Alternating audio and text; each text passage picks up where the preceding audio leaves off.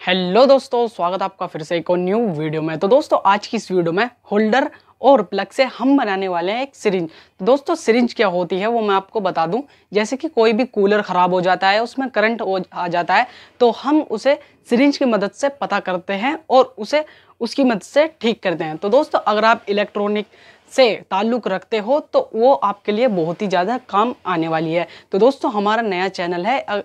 इस चैनल को आप सपोर्ट करें और चैनल को अभी तक सब्सक्राइब नहीं किया तो प्लीज़ चैनल को सब्सक्राइब करें। तो चलिए वीडियो को शुरू करते हैं। तो यहाँ पर देख सकते हो, मैंने यहाँ पर एक होल्डर लिया है और एक प्लग लिया है। तो दोस्तों, ये मैं नए लेकर आया हूँ मार्केट से। मेरे घर पे मेरे पास पुराने नहीं थे तो आप चाहो तो पुराने भी लगा सकते हो, कोई दिक्कत वाली बात नहीं है, क्योंकि काम तो करते ही हैं। और इसके बाद यहाँ पर देख सकते हो, बहुत ही आसान तरीके से मैं आपको समझाने की कोशिश करूँगा। तो दोस्तों, यहाँ पर एक वायर लेना है हमें। तो आप चाहो कितने भी मीटर ले सकते हो, अपने हिसाब से ले सकते हो। एक मीटर ले सकते हो, दो मीटर ले सकते हो, डेढ़ मीटर ले सकते हो, आप अपने हिसाब से ले सकते हो। तो दोस्तों, सबसे पहले मैं आपको बता दूँ, ये मैंने यहाँ पर कट कर लिया है पहले से ही। तो इसको भी बताऊँगा कि मैंने यो, ये कट क्यों करा है। तो दोस्तों, यहाँ पर सबसे पहले मैं, हम जो है, दो जो वायर हैं, किधर से भी ले सकते हो, कोई भी आप दो वायर ले सकते हो। दो वायर हम, हमें प्लग में लगाने हैं तो सबसे पहले ये काम हम निपटा देते हैं हम। पहले प्लग में लगाते हैं। तो प्लग को मैं खोल लेता हूँ इसको।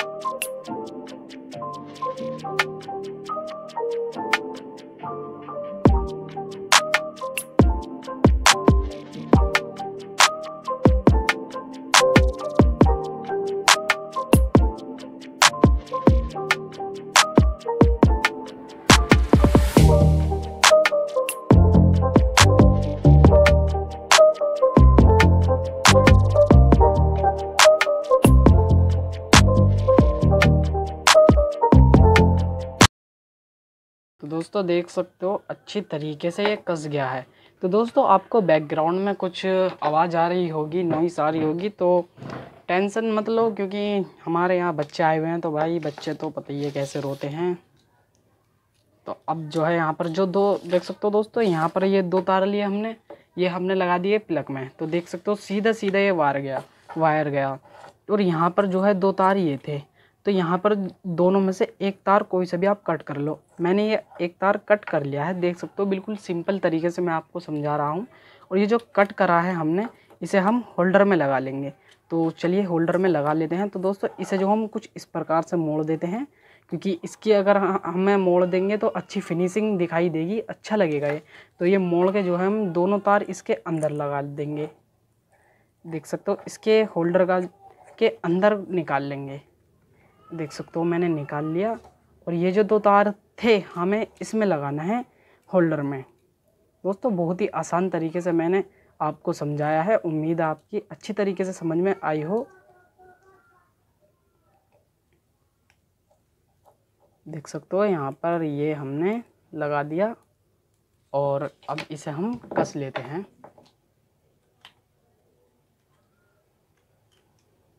तो दोस्तों, हमारा जो है सीरीज़ जो है हमारी लगभग बन के तैयार हो चुकी है। दोस्तों, ये दूसरी भी बनाते हैं, जो आपने देखी होगी दुकानों पर, इलेक्ट्रॉनिक शॉप पर, वो बोर्ड में ही रहती है। तो वो बोर्ड वाली अलग होती है, इसी प्रकार से बनती है, लेकिन वो बोर्ड में लगाई जाती है। ये जैसे हम इसे छोटी कह सकते हैं हम जुगाड़ कह सकते हैं एक तरीके से। इसे आप घर में अपने यूज़ कर सकते हो। कुछ भी चीज़ आप ठीक कर सकते हो इसकी मदद से। और ये बहुत ही सस्ते में ये बनकर रेडी हो जाती है। ये भी नहीं कि बहुत महँगी बनती है, बहुत ही सस्ती में ये रेडी हो जाती है। तो देख सकते हो ये जो तार है, ये देखो, ये ऊपर खींच लिया मैंने और ये लगा दिया। ये देख सकते हो दोस्तों, अब देख सकते हो दोस्तों ये पहले से कितनी अच्छी फिनिशिंग दिखाई दे रही है इसमें। ये फिनिशिंग की वजह से हमने जो दूसरा तार था वो लगाया था और ये अच्छी तरीके से रेडी हो चुका है। तो दोस्तों, एक और बार मैं आपको समझा दूँ, ये दो वायर थे, ये पूरा एक वायर था, जो कि एक कोना हमने इस के यहाँ पर लगाया प्लग में, और ये सीधी डोरी आई, यहाँ से हमने एक पीस कट करके ये होल्डर लगा दिया। ये आपको ऐसे लग रहा होगा क्योंकि हमने सारी घुसाई हैं, ये हमने एक पीस कर करके इसमें लगा दिया। जो इधर के जो हमने वायर बचे हैं ये हमारे टेस्टिंग के लिए है, इससे बनेगी हमारी सिरिंज तो इसे हम छील लेते हैं। ये देखो। ये देखो, हम मैंने अच्छी तरीके से छील लिए हैं। तो दोस्तों, इसे हम ऐसे घुमा घुमा के इसे टाइट कर देंगे, जो कि इसके तार नहीं निकले। और देख सकते हो, मैं इधर को ऐसे ऐसे घुमा देता हूँ। तो दोस्तों, अगर आपने इस वीडियो को लाइक नहीं किया तो यार जल्दी से लाइक करो और चैनल को सब्सक्राइब करो यार। अपने भाई को भी सपोर्ट करो। ज़्यादा से ज़्यादा अपने भाई को सपोर्ट करो। अच्छे अच्छे टॉपिक पर वीडियो लेके आते रहेंगे हम। तो देख सकते हो कि हमारी जो सीरीज़ है, वो अच्छी तरीके से बन के रेडी हो चुकी है। बस लगभग ये सही से कर लेता हूँ मैं इसे। दोस्तों, इससे क्या होगा? ये वहीं के वहीं रुका रहेगा, तार नहीं निकलेंगे इसमें। तो देख सकते हो, हमारी जो सरिंज है, वो अच्छी तरीके से बन के रेडी हो चुकी है। और अब मैं इसको आपको टेस्ट करके दिखा देता हूँ। दोस्तों, देख सकते हो, यहाँ पर मैंने एक बोर्ड बोर्ड ले लिया है, जो कि ये एसी करंट आता है। तो दोस्तों, आपको ये डीसी में नहीं लगाना है। अगर आप डीसी में लगाते हो तो इससे डीसी ही चेक करना एसी मत करना। और एसी में लगाते हो तो एसी ही चेक करना एसी ही वोल्ट चेक करना। तो दोस्तों यहाँ पर देख सकते हो, अभी लाइट बंदी हो गई होगी क्योंकि लाइट मैंने बंद कर दी और यहाँ पर एक बल्ब लेना है जो कि हमें इस होल्डर में लगा देना है।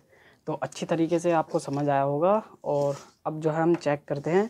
तो दोस्तों इसका जो प्लग है हमें वो इसमें लगा देना है।